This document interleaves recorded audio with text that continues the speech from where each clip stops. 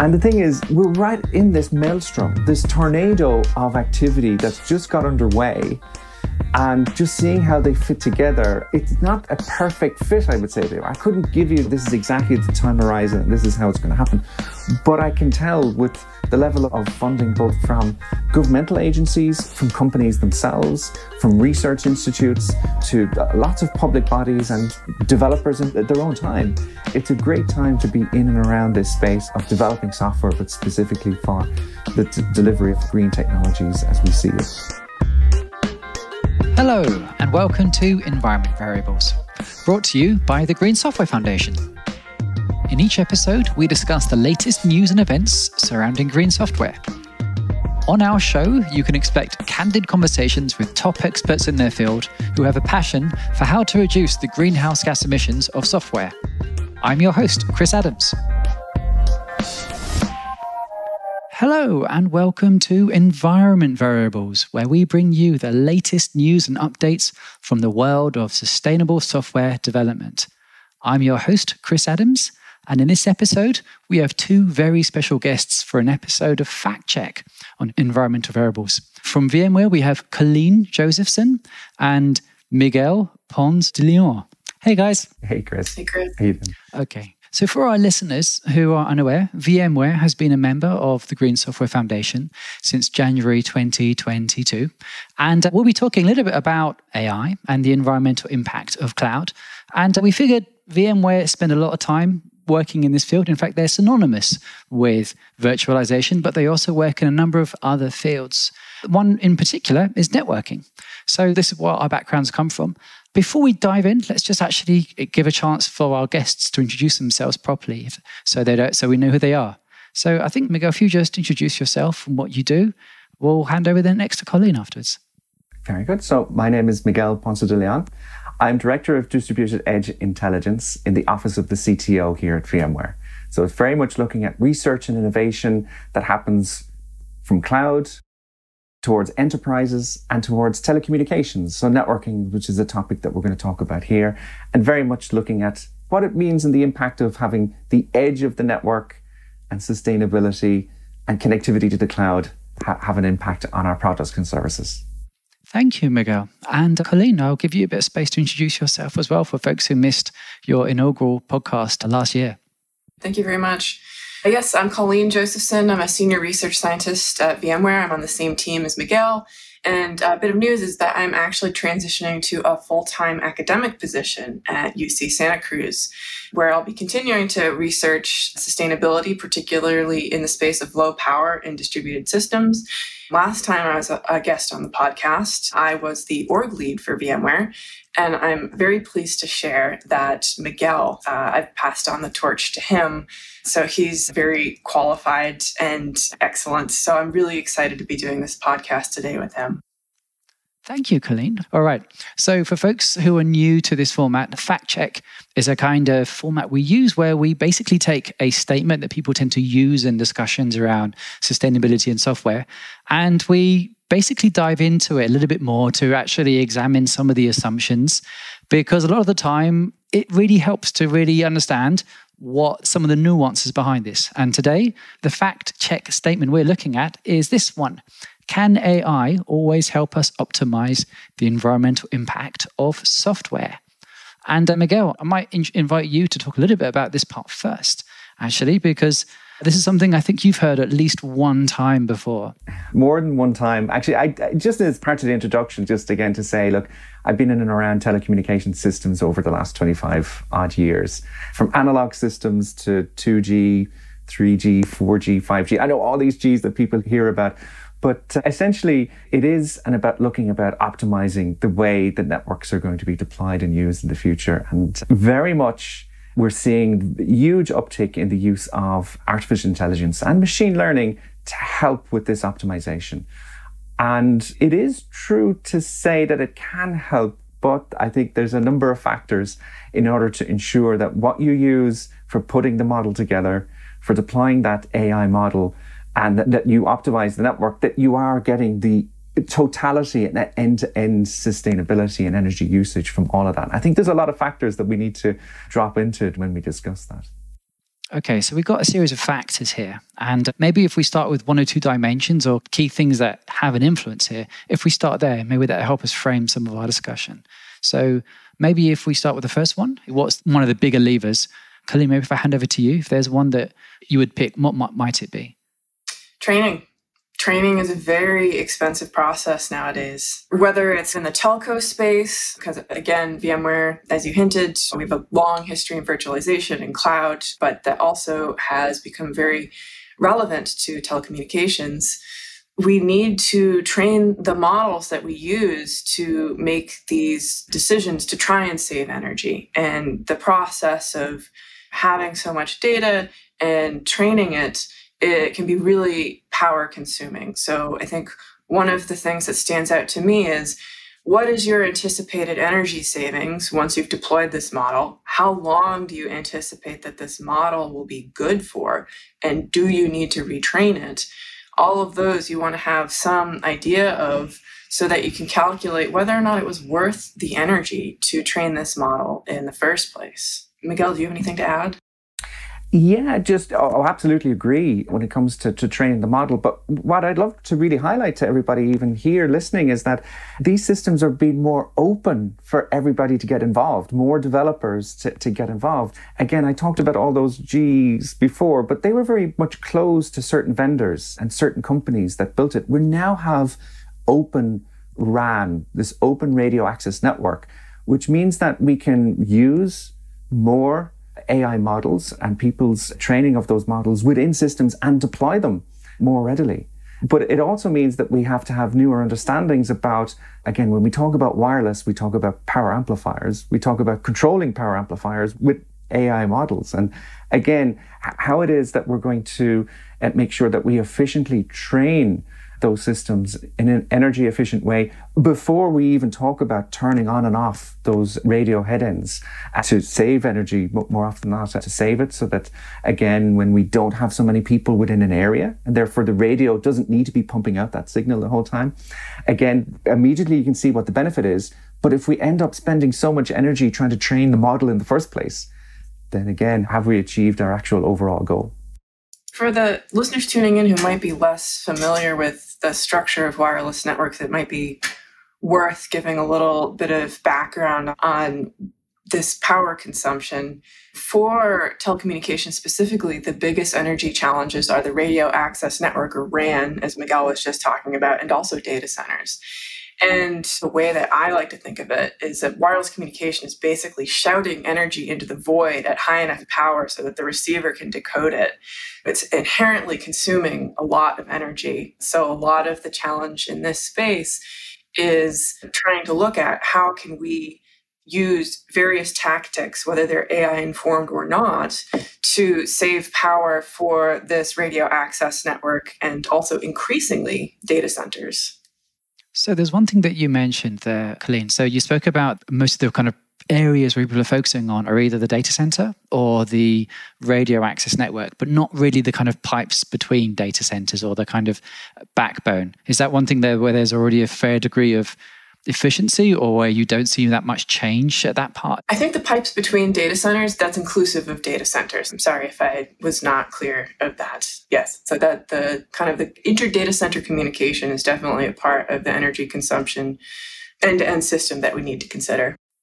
Okay, but there's a chunk about radio, but there's one area which is relatively new to us or relatively new, like this radio access network, where because we've seen so much growth in cellular and things like that, and with that growing so fast, this has been one thing that we are now looking to use tools like AI or something to make them work a little bit more efficiently than what people would manually be switching on things on and off. Or maybe we could explore some of the levers you actually have here because it's not clear to me why you might be using AI in the first place for this part uh, specifically.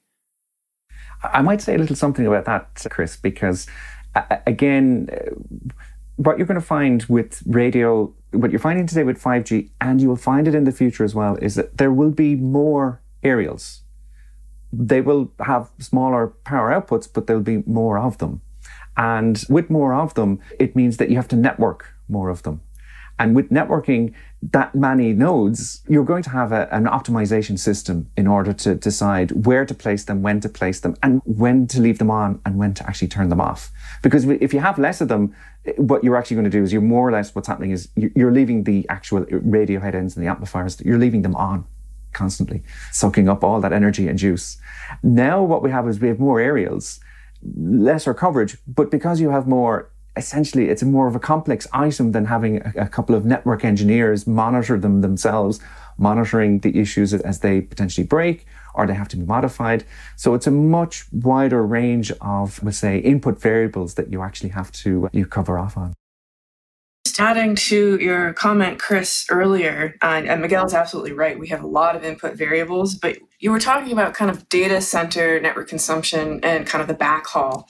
And I think I want to revisit this topic of radio access network and wireless communication. And it's going to get a little bit down into the physics of it. But if you have a wire going from one end to the other, fiber optic, those have much less loss. So you can consume much more rapidly, get much more throughput for the same power consumption with a wired network that compared to a wireless network. With wireless, you have all sorts of types of loss. The channel conditions are changing drastically all the time. So, this wireless aspect is really one of the things that makes it the radio access part of the networks a higher power consumer because you have this signal that you're sending out into the air as opposed to this little cable that has much more controlled conditions. You're going to see something they call path loss when you're going from the transmitter to the receiver. You're going to see something called multipath which is where there are multiple copies of the transmitted signal arriving at the receiver. And these wireless networks have to be designed to overcome some of these challenges. And that's where a lot of kind of the radio access network consuming more power comes from, if that makes sense. I think that does. So if I was to maybe take a step back for folks who might be familiar with 3G and 4G when we talk about some of this, if that was a model where you have one or two very large kind of transmitters or receivers, that's a shift to 5G or possibly even 6G is many more smaller ones possibly with this. And as a result you have a kind of explosion of complexity. That's the that's the thing that you have to manage that you didn't have to manage before. And maybe the this other thing i should ask you about then is that it sounds really basic, but one of the ways when people talk about, say, 5G or 6G being potentially more efficient or greener is just because it's easier to turn some of the system off rather than just having things blasting the entire time 24 7. That's one of the assumptions that you're looking at. That's exactly it, Chris. And just to explain the complexity as well, there is the possibilities. We're looking at them again with next G and 6G systems, where basically there'll be a small aerial connected to your home, for example. But again, what you'll want to do is making sure that is controlled efficiently, that it's looked after optimally. So for us, all of that is causing this need to self organize the network in some way. That's the way we use terminology. There's a self organization of, where you put the frequencies on each one of the antennas and things like that. So, ah, okay. ha- ha- having that kind of control remotely can be interesting. And it could be, for example, that your home aerial today could be with operator number one. We won't name the operators, but you can keep in mind that most, in most countries we have two, three, four operators uh, in country. But an operator could pay you for that area that you've put on your home and could be optimizing it for your 6G signal. Tomorrow it could be operator B that's using your aerial in some way, shape, or form. And they may have a different way of optimizing that same aerial for the signal that it's producing and sending out there and paying for your time to use it. So again, that's why we see a much more open system, a kind of an open ecosystem of how telecommunications will be actually provided in the future.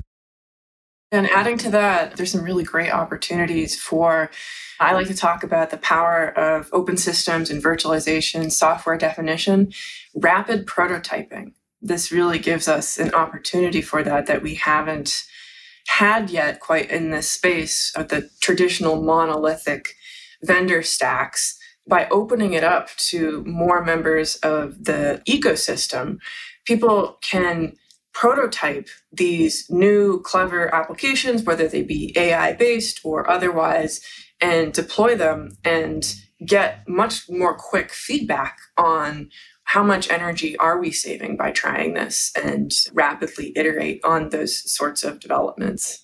Ah, okay. I'm really glad you brought it back to the AI part here for the initial fact check. So basically, faced with all this complexity, there's been this uh, assumption that if there's something complex, we're just going to throw AI at it, like how Google did when they bought DeepMind and then threw AI at their own data centers to twiddle all the knobs instead of actually having humans do this.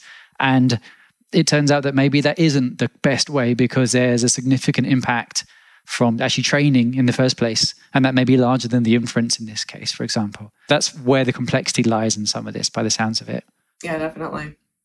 I think that helps break down some of this actually. The idea being that, yeah, there is an inference that we need to be thinking about and a training part that we need to be aware of. And if you spend your entire energy budget on the training part, then you need a huge amount of use to make up for that saving that you might actually have. And that's something we're not quite sure whether we'd actually see here.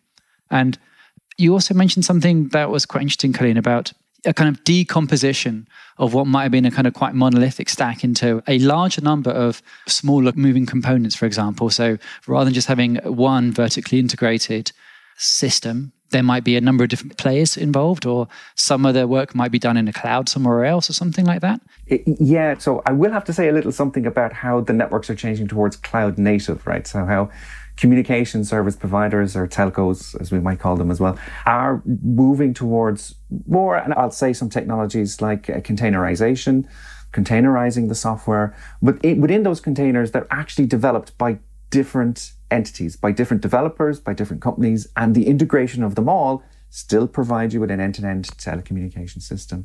And what I think is really interesting here, for, and especially for the Green Software Foundation, is around the carbon impact of the software that's developed and how that's tested in a CI/CD, a continuous integration, continuous deployment development environment, to see the impact of the overall delivery of these individual players who've been plugged together to provide a communication system as we go towards next G.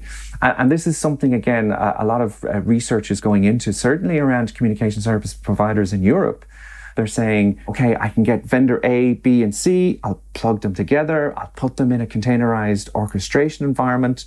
But they're also asking the question, not just performance, not just security, but what is the sustainability and energy impact?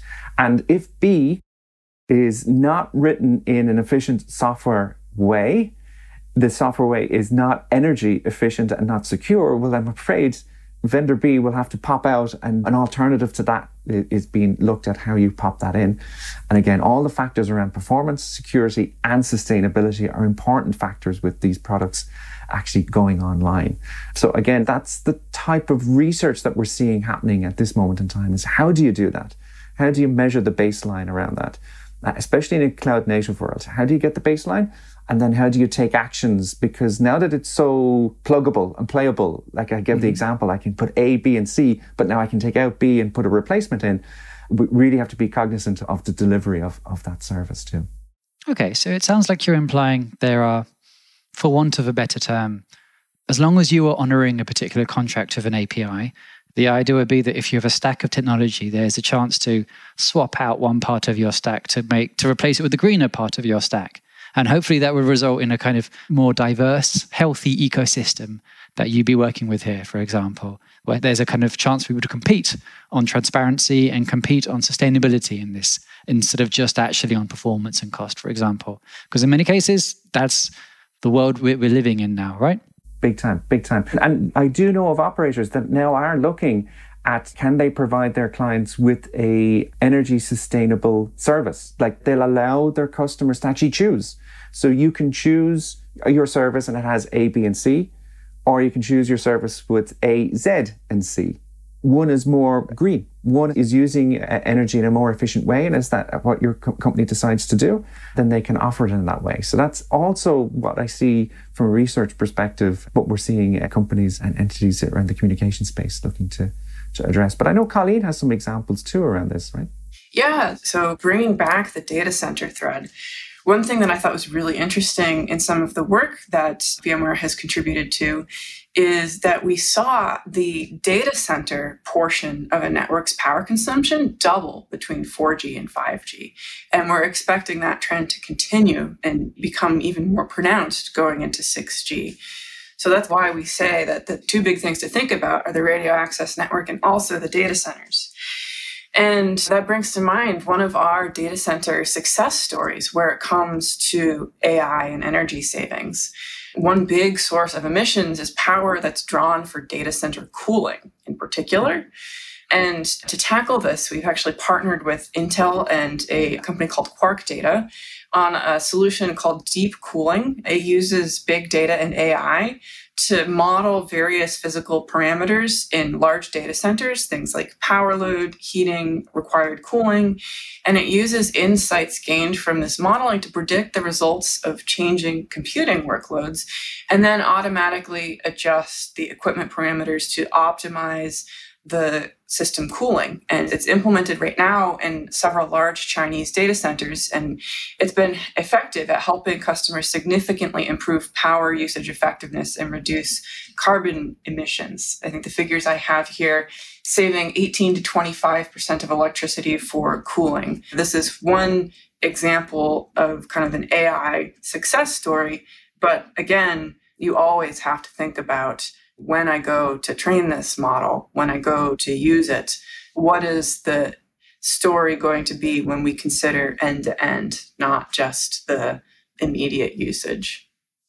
So, this maybe might be a chance to talk about some of the metrics you might use for this then. Because one thing we spoke about in a previous episode was that there are various researchers who are talking about AI and they're talking about the idea that you might track the energy embedded into that model, just the way we talk about embedded energy in, say, building physical hardware. There might be an idea of like energy embedded into a model before you actually use it, for example, as ways of listing this stuff. And uh, when people talk about that, people talk about, say, like the energy usage, but people also talk about the carbon impact of that part as well.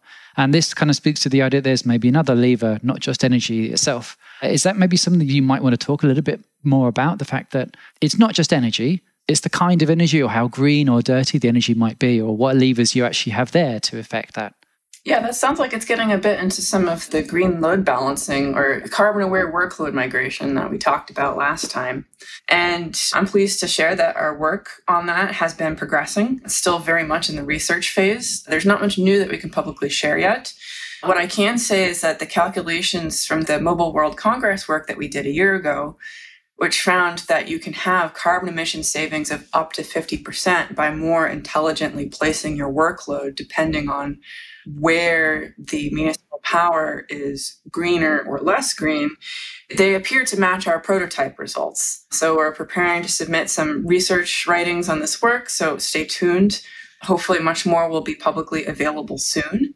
And we also have some exciting collaborations on this front looking at how carbon aware load balancing interacts with energy grids and making sure that data centers that begin to implement these novel solutions they remain good energy citizens and don't unintentionally negatively impact our energy systems.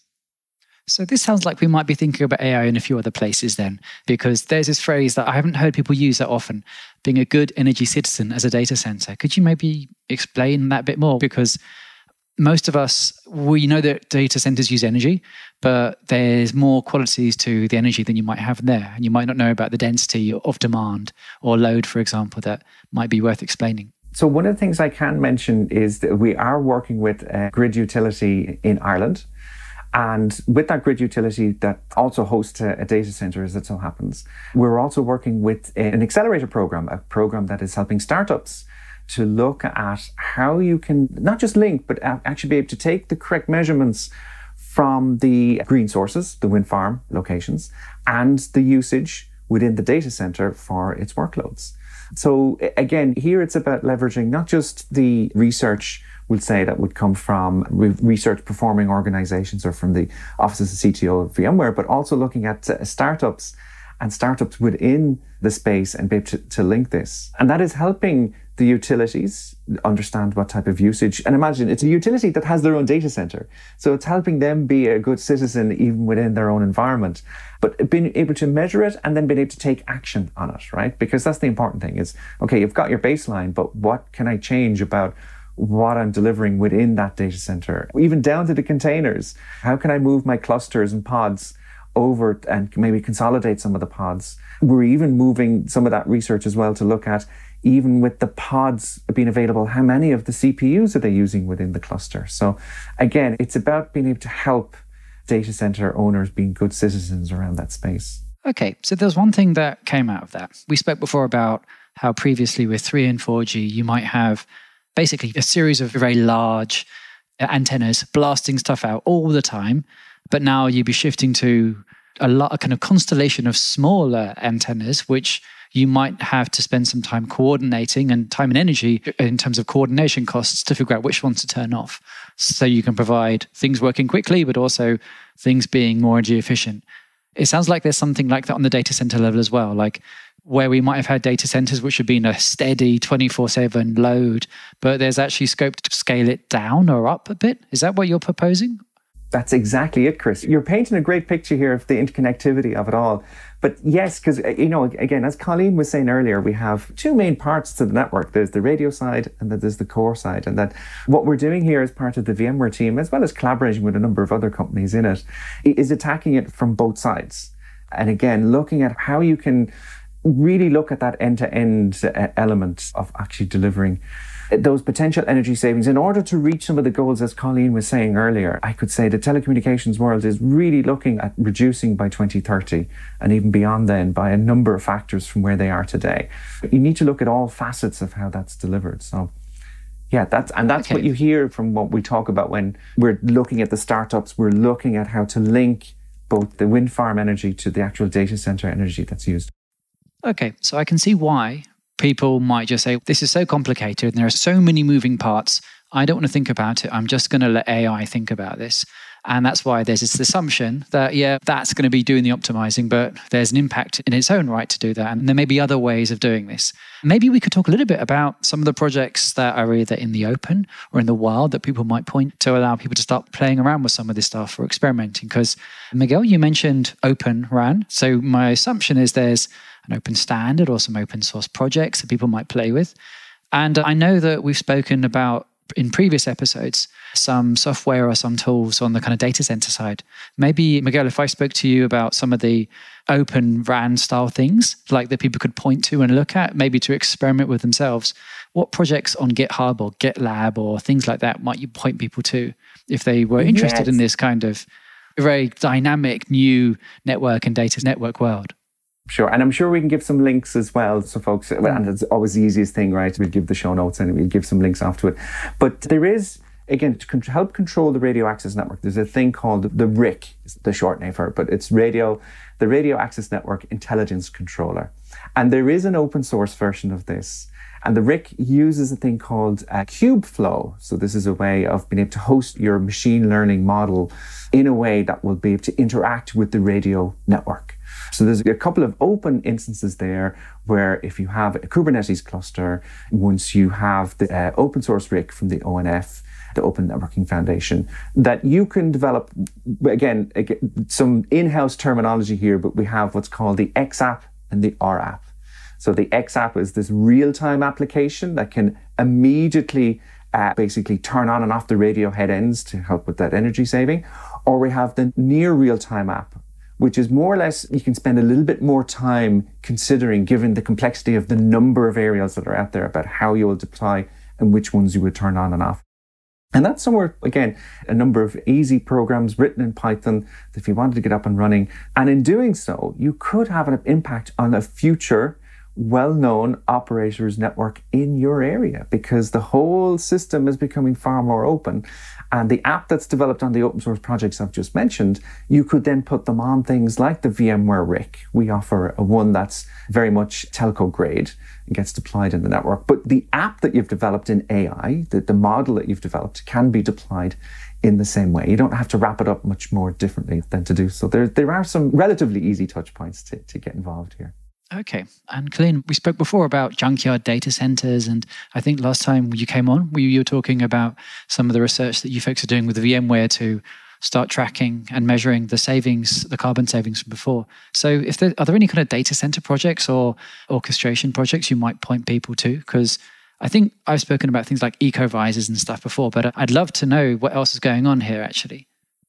Yeah, I shared some overlap with what Miguel was talking about, to be honest. And I think containerization, Kepler, very important project. Yeah, so Kepler is this energy monitoring and tool for Kubernetes containers. And you can hook this into some visualization systems. You know, that's one kind of open source project for monitoring data center energy consumption that I'm aware of. Very important in that area. Not AI specific, but those two areas are a frequent topic of conversation among people who work in cloud and data center. Yes, Kubernetes Efficient Power Level Exporter. I found the link for it actually. That's what it stands for. There's a project where well, there's actually an ongoing conversation in some of the kind of Green Software Foundation I can't remember which repo it is specifically where Adrian Cockcroft has been mentioning this idea of Kepler as one of the mechanisms to allow kind of minute by minute reporting at a cloud level so that you can actually get some of the numbers to optimize for carbon or optimize for energy usage. Because this is one thing that you don't always have from all your providers. And that's one of the kind of underlying pieces of technology used to expose these kind of resource usage figures for each of these kind of pods or clusters of computing and things like that. So we've got about five or six minutes time left and i did want to leave some space to talk about some of the kind of wackier stuff that we didn't get a chance to talk about last time. Just before towards the end of the last episode we spoke a little bit about things like junkyard data centers which were like data centers made of various end of life computers and things like that. And uh, Colleen, you mentioned different kinds of either zero power or low power, things like soil powered batteries and stuff like that. And uh, seeing as we've gone into all this kind of industrial level stuff, I figured it might be worth and interesting to look at some of the other level, like the really low, ultra low power stuff. Is this what you're going to be going to study, or is this some of the work you've done before? Because I think it's going to be interesting to some of the crowd here, realizing that things happen at the bottom end of the scale as well. Yeah, yeah. This is the bridging of the two worlds and the data center and these big monolithic or not so monolithic anymore systems are really important to consider. But we use these telecommunication systems to hook into much smaller devices, tablets, smartphones, and ever increasingly IoT. And what is really interesting about these IoT and smartphone smaller user devices is they are special because they've been designed to be power efficient. So their carbon footprint for them is significantly larger in the manufacture phase compared to the device use phase. So they, they have a much higher embodied carbon footprint proportionally than the energy consumption that they use. There's some really interesting work going on here for how can we lower the embodied carbon footprint of some of these massively, or we anticipate them to be massively deployed miniature systems. And one of the ways that I've worked on that's out of the box is batteries. So we have some ultra low power communication devices that, you know, we can begin to use to do something called simultaneous sensing and communication. And one of the bigger footprint aspects of some of these systems are the batteries, traditionally speaking. So if you can minimize or eliminate the need to have a battery, then you can significantly reduce the embodied carbon footprint. So one of the things that I've looked at is can we actually harvest energy from the soil itself? So this is really early stage research that we're starting to look at UC Santa Cruz and it hooks into something called intermittent computing, if you've ever heard of it. It's this idea of computing systems that don't constantly have power available and the paradigms that the system operates at we design data centers we assume that power is always going to be available or we did and so now if we have to be much more dynamic and on our feet about when power is available we have to be able to very rapidly save progress go into power save mode and then rapidly spin back up again when there's power available. So the intermittent computing community has been really active at connecting the ultra low power and ultra far edge and hooking it into our core networking and traditional communication systems. I can add if we're looking for off the wall ideas, hot carbon the first yes. inaugural Hot Carbon workshop hmm. was last year. I'm pleased to share that this year there will be a second iteration of this workshop. Uh, one exciting development is that it's tentatively going to be sponsored by ACM SIG Energy this year, in addition to VMware's continued support. So I'm actually working as the publication chair for that workshop. The submission deadline was yesterday, 521, mm-hmm. but the workshop it- itself will be on July 9th. Just a shout out to those of you listening. So tune in for what's sure to be very interesting cutting edge work in the sustainable software space. And it's going to be a hybrid workshop. The physical location is in Boston, Mass, but if you go to the website, hotcarbon.org, up very soon should be a registration link so that you can sign up to attend virtually or in person if you happen to be in the Boston area. Cool. Thank you for sharing that, Colleen. For anyone who is on the fence, I virtually attended Hot Carbon last year and I basically plundered that list of people for guests for this podcast because there's loads of really interesting projects going on there. There's also some really nice stuff. Colleen, I just want to ask about the, this idea of intermittent computing because it sounds like it's like really almost super serverless. So the idea that there's it's almost like batteryless, basically. The idea that you do the things scale right down to zero and you just basically don't do any work until you've got energy coming back in again. That's the idea behind that. I think there there are definite connections to batteryless. The intermittent computing paradigm can work whether there's a battery or not. Trying to work around how charged that battery is and turning off when power is reducing. But yeah, it's a very prominent area of work when you consider batteryless computing. And just to connect everything end to end, you might have these very low power sub microwatt in some cases devices at the ultra far edge but you need to have something that brings that data back to the cloud and this is where you have more traditional edge computing like maybe a server that's at a farm or some things that people are starting to think of are edge data centers that are potentially even mounted to drones or edge 5G that's mounted to drones. So lots of really near edge and far edge paradigms. Okay, so it sounds like as we have moved from monolithic, gigantic computers to things becoming smaller and more distributed, there is a coordination cost, which is why people often talk about this is so complicated, I'm just going to hope that AI solves it for me. Which is where some of these ideas came from. That, of course, you can use AI to automatically work out, erase the environmental impact from computing. I hope that one thing we're taking away from this conversation is that no, it's a bit more complicated than that. And uh, but there's lots of exciting rabbit holes to drive down. Folks, I've really enjoyed this conversation actually, and I think we're coming up to the time that we have here. With the do you folks, if in the last few minutes that I might actually ask, are there any projects or things you might point people to that we haven't spoken about that you'd like to give a shout out to before we wind up? Okay, because I'm based in Europe, right? There is a coalition that's working together uh, with a number of working groups, really looking at how all the things that we just talked about, but with more specifics, because I know you, you want to do, you use the word fact checking around what we're trying to achieve here.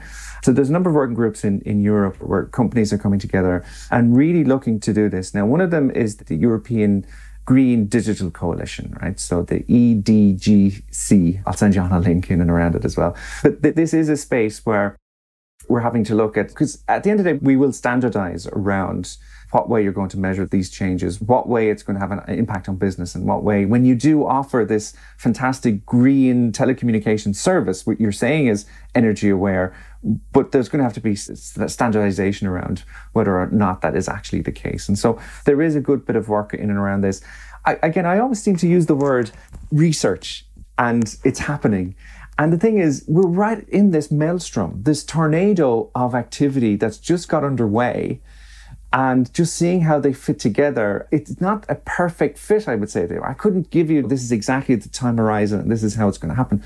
But I can tell with the level of funding, both from governmental agencies, from companies themselves, from research institutes, to lots of public bodies and developers in their own time, it's a great time to be in and around this space of developing software, but specifically for the d- delivery of green technologies as we see it. For me, that would be the big pointer. And I'm hoping that someone, one or two of the topics that we've mentioned here would give any developer an opportunity to actually, like you were saying earlier, Chris, have a look at a GitHub project, have a look at being able to develop a small model, some code, and have somewhere to actually deploy it where it will have an effect on your own services in the future.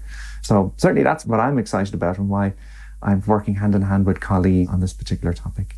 Okay, thank you, Miguel and Colleen. Just as we as we wind out, what would you draw people's attention to apart from hot carbon, of course, which is freaking awesome?